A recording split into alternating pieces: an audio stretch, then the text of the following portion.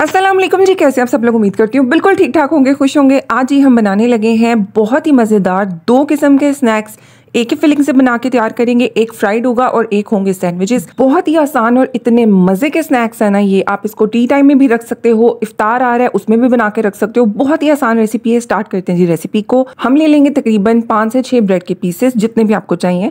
उसके हम कर देंगे साइड्स को रिमूव वेस्ट ये बिल्कुल भी नहीं होंगी। इसके हम बनाकर तैयार करेंगे क्रम्स बहुत ही आसान और बहुत ही मज़े की ये रेसिपी है आपने इसको ज़रूर बनाना है।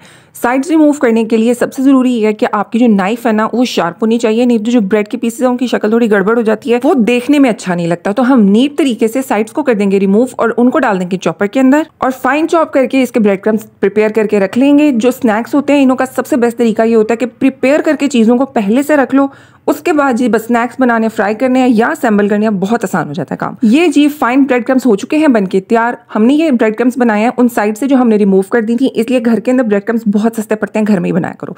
ये जी एक पाव चिकन है, इसको अच्छी तरह से बॉईल करके रख लिया, कोई नमक वगैरह कुछ भी नहीं लगाया।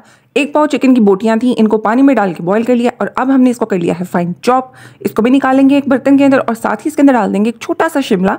इसको भी हमने बारीक बारीक काट लिया, बहुत मोटे चंक्स नहीं रखने शिमला के, बारीक चंक्स रखने ठीक है? ये जी अब इसके अंदर डाल देंगे हम मयोनीज मैं रेड सॉस वाली मयोनीज यूज़ कर रही थी, अगर आपके पास ये नहीं है तो आपने टू टेबल स्पून लेनी है सादी मेयोनीज साथ उसके अंदर आपने ले लेनी है एक टी स्पून केचप और एक दो चुटकी दर्दरी कुटी हुई जो लाल मिर्च होती है ना, वो इसके अंदर डाल लोगे वो इसका सब्सटीट्यूट है। साथ ही इसके अंदर डाल देंगे बिल्कुल एक पिंच नमक का और हाफ़ टी स्पून दर्दरी कुटी हुई काली मिर्च।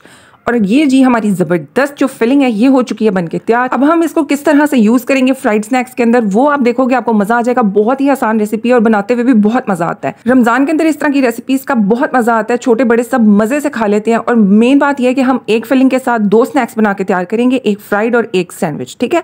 ये जी अब ब्रेड का पीस ले लेंगे और पानी के अंदर डिप करके अच्छी तरह से हमने ब्रेड को निचोड़ लेना इसके बाद हम इसके अंदर डाल देंगे फिलिंग फिलिंग थोड़ी सी आपने ना हाथ रोक के डालनी है, भर भर के नहीं डालनी, क्योंकि इसको फिर फोल्ड करना थोड़ा सा मुश्किल हो जाएगा, ठीक है?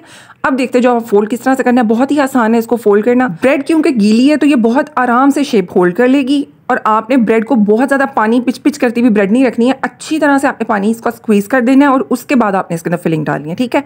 अब जी ये ज़बरदस्त हमारा बॉल बन के हो चुका है तैयार। इसको हम डाल देंगे ब्रेड क्रम्स के अंदर। अच्छी तरह से ब्रेड क्रम्स इसके ऊपर कोट करेंगे। अब क्योंकि नीचे वाली ब्रेड गीली है तो ये बहुत आसानी के साथ ना ब्रेड क्रम्स को ऊपर होल्ड कर लेगी। अब अगर आप रमज़ान में बना रहे हो तो इस स्टेप तक आप बना के रख लो और फ्राई करने के टाइम पे इसको फ्राई कर लेना। बहुत ही आसानी के साथ, बहुत ही क्रिस्पी किस्म की ये फ्राई होकर तैयार होती है। मैं आगे आपको इसका क्रिस्प सुनाऊँगी, आपको मज़ा आ जाएगा खा के। और मेन बात यह है कि इस तरह से बनाने से जो ब्रेड है ना, ये घी एब्जॉर्ब नहीं करती, क्योंकि हमारी नीचे वाली ब्रेड जो है वो गीली है और ऊपर हमने ब्रेड क्रम्स लगाती हैं। ब्रेड क्रम्स लगाने से फ़ायदा ये होगा कि जो क्रिस्प है वो ब्रेड क्रम्स के ऊपर आएगा और जो नीचे वाली हमारी ब्रेड है वो बहुत सॉफ्ट सी बन के तैयार होगी अंदर से और बिल्कुल भी घी एब्जॉर्ब नहीं होगा इसके अंदर।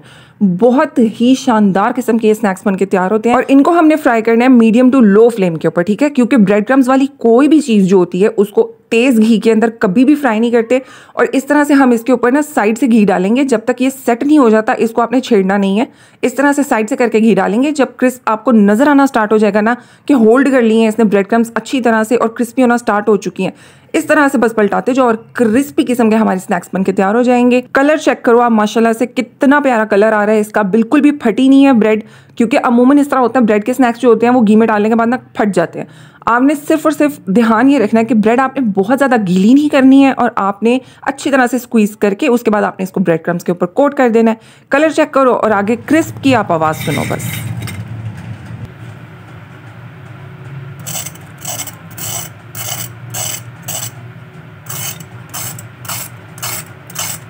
ये जी ज़बरदस्त हमारे स्नैक्स जो है, हो चुके बन के तैयार, ऊपर से फुल क्रिस्पी और अंदर से फुल सॉफ्ट बच्चे या बड़े, दोनों को ये स्नैक्स बहुत ज़्यादा पसंद आएँगे। इसके साथ हम सर्व करेंगे केचप या चिली सॉस बहुत मज़ा आएगा इसको खाने का।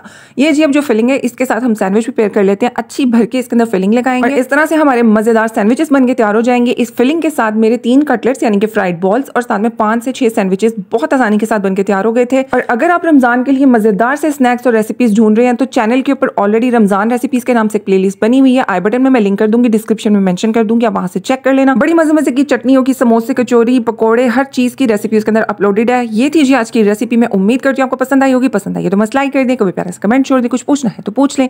चैनल को ज़रूर सब्सक्राइब कीजिएगा लाइक कर दें शेयर कर दें कमेंट कर दें। बेल आइकन को प्रेस करना आपने नहीं भूलना। और अगर आप मेरी कोई भी रेसिपी बनाते हैं, उसकी पिक्चर क्लिक करके इंस्टाग्राम पर मुझे टैग करना नहीं भूलना। ये थी जी आज की recipe thanks for watching Allah Hafiz.